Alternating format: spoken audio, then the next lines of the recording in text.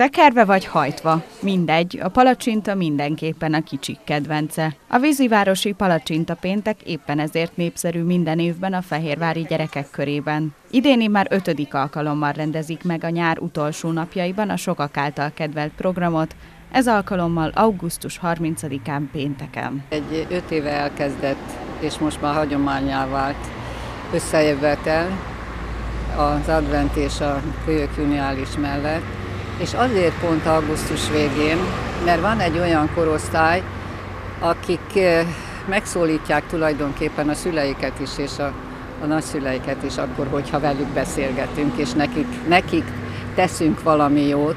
A vízivárosiak már megszokhatták, hogy minden évben három gyermekprogrammal várják a legkisebbeket. Decemberben az adventi mulatságokkal, az iskolai év végén a kölyök juniálissal, és az új tanév kezdete előtt a nyárzáró palacsinta péntekkel.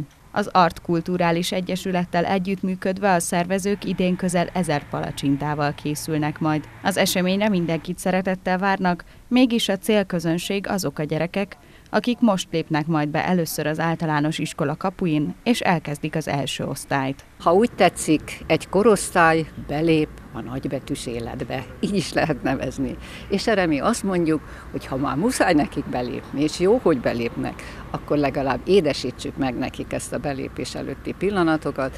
Ezért csinálunk mindig augusztus 30 vagy hát utolsó péntekén egy olyan palacsintázást itt a Liszi előtt, az a, tulajdonképpen a járdán, ahol sütjük a palacsintát, itt van a polgármester úr, és el szokott jönni. A palacsinta péntek mindenkit vár e hét pénteken, augusztus 30-án 10 órától, a Budai úti Liszi iroda előtt egy utolsó nyári ünneplésre, ahol minden gyerek megtalálhatja majd a kedvenc töltött finomságát, legyen az túrós, kakaós, lekváros, tekert vagy hajtott.